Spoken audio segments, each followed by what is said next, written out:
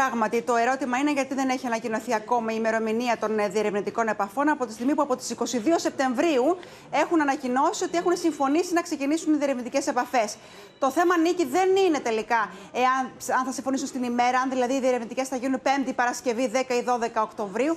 Το θέμα φαίνεται ότι είναι ουσίας από τη στιγμή που η Ελλάδα έχει ξεκαθαρίσει ότι στην η ατζέντα των διερευνητικών επαφών είναι οι θαλάσσιες ζώνες και μόνο αυτό. Και μάλιστα λέει ότι έχει συμφωνήσει με τη γειτονική χώρα. Το ξεκαθαρίζει και η Ευρώπη, να θυμίσω εμβόλυμα, γιατί είναι πρόσφατη σύνοδος κορυφής. Τα συμπεράσματα της ε, Συνόδου. Πολύ σωστά. Από την άλλη, η Τουρκία θέλει εφόλης της ύλης διάλογο. Θέλει δηλαδή στις συζητήσεις να τα κουβεντιάσουμε όλα και αποστρατικοποίηση των νησιών και θέμα κυριαρχίας των νησιών, ακόμα και θέμα της μουσουλμανικής μειονότητας στη Θράκη. Και μπορεί ο Ταγί Περντογάν να θέσει σε πολιτικό επίπεδο όλα αυτά τα θέματα στον Κυριάκο Μητσοτάκη όταν και εφόσον συναντηθούν. Ο, Νίκος, ο Μευλού Τσαβούσογλου στον Έλληνα Υπουργό Εξωτερικών, τον Νίκο Δέντια, όταν επίσης συναντηθούν. Όμως η ατζέντα των διερευνητικών είναι συγκεκριμένη και από αυτή θα εξαρτηθεί εάν θα πάμε στη Χάκη.